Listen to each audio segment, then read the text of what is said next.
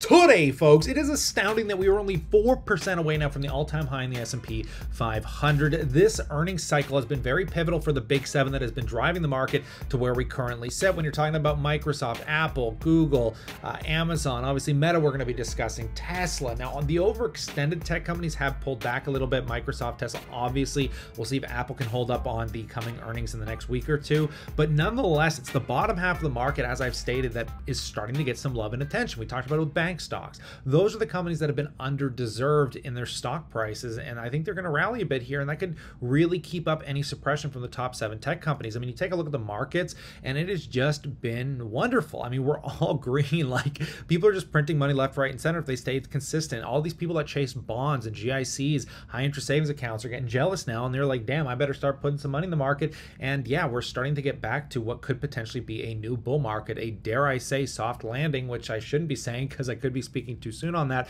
But let's talk about Meta. Let's talk about the earnings and what's going on here because Meta obviously jumped up a whopping 6.6% in after hours on the earnings release. Pulled back a little bit. We'll see if it'll hold the highs into the uh, beginning of tomorrow. But nonetheless, the stock still has some room to run because, again, as all the major tech companies that have been holding up have been hitting all time highs and beyond, we are seeing these advertising players get hit obviously a little harder because people always presume in a recession people spend less on marketing. But that is no longer proving to be the case. Now, these things are not rocketing to crazy new revenue percentage percentage gains, but let's get into it because there's just a lot going on. And before we look at the numbers themselves, I do want to point out that there's a pivotal quarter coming up here leading into the holiday season as Apple is looking to launch, you know, their version of VR coming out in early next year. I think most people like myself that are more into gaming, which Apple is not really focused on, and gamers are the only ones primarily using some of these VR headsets right now. I think Meta's going to have a huge uh, leg up here when they actually drop this coming into the fall. I will be lined up to buy this as I mentioned, and maybe I'll do some reviews on it as well. I am almost almost a daily user, at least four days a week. I am using the Quest 2 and I'm looking to get my hands on this Quest 3 to kind of fully step up my gaming experience. So I, this is going to be very pivotal if they can get a lot of sales moving into the holiday season. I think it really has the potential to be another big catalyst uh, for Meta to even kind of step beyond what Apple's trying to do here. Now, let's talk about the earnings themselves and then we'll break down uh, some of the actual user numbers on their presentation. But revenue uh, actually jumped up into the double digits again year over year. It was up 11%, which is pretty nice to see from 28 billion to 31 billion. Very, very nice. And uh, income from operations jumped 12%. We're getting back into the double digit growth rates, um, which is pretty astounding from how bearish people were on this company. I mean, you take a look at the diluted earnings per share thanks to cost cutting is up 21%.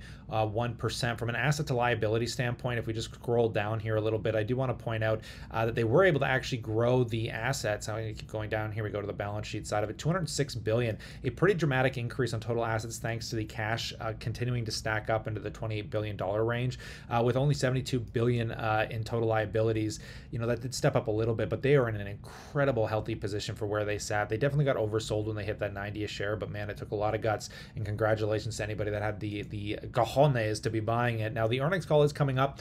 We'll see if they can kind of grace through that and give the stock more momentum. I'm sure there's going to be mentions of AI 10 gajillion times, like we saw with Google. But taking a look at the presentation, let me just scroll through some of the existing stats that we have here. Uh, so the advertising revenue by uh, geography um, has generally been increasing pretty much across all geographies. So there was a nice comeback in some revenue growth here, which is really great to see. And when we kind of just scroll down and take a look at the um, you know the expense percentage of revenue, we can definitely see that they have been cutting cost in pretty much every geography as well when it comes to just the marketing of sales. This just comes from the cost cutting of laying employees off, cutting back on the reality labs. I mean, this is really good to see though because we knew this is what had the potential to propel the company if the revenues and earnings were able to keep up. And this is what companies are doing. I keep mentioning this. They're refining and dining. You find these good companies that are able to have a sticky, uh, you know, motored business and they're laying a lot of employees off and looking for cost effective ways to add to that EPS. I mean, this is what obviously is putting us in this new bull market. And obviously, as we come out of this kind of high interest rated cycle and the economy starts to normalize over the next one to three years, these companies will be much stronger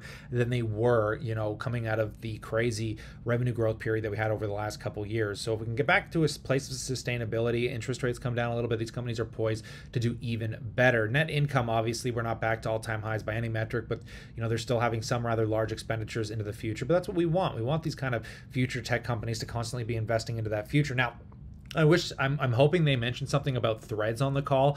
We did talk about how threads uh, basically had this wicked user jump and then it like crashed miserably. Um, basically, like the users dropped by like 70 or 80% or something like that. So, you know, Twitter still got a bit of a base there, but we'll see how that performs over time. And I'm looking to see what they say about that on the earnings call, something to pay attention to because I noticed there's not a lot of huge mentions of it here, uh, primarily just in the breakdown of the broad view. But family daily active users hit all time highs. Very nice to see that aspect of it. Family monthly active users hit an all-time high very consistent here family average revenue per person still fairly consistent here. I mean this is just truly defining that you know facebook is just not this old dinosaur business. Um, everything across these metrics seems to say hey yeah, this stock deserves uh, to be pushing uh, you know higher. And we'll see uh, where it finally peaks out at where people get exhausted from you know buying it in this kind of new pressured bull market. Now i should probably check out to see if in the actual statement they talk about uh, in the earnings press release that they do mention threads. Let me just see if i can search this up real quick. And so they do mention threads. Let me just read into this real quick.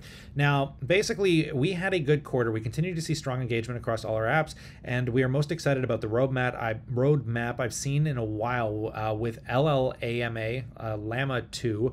I'm not sure what that is. Maybe I'm missing something. Threads, Reels, new AI uh, products in the pipeline. Of course, they're going to mention AI in the launch of Quest 3 this fall.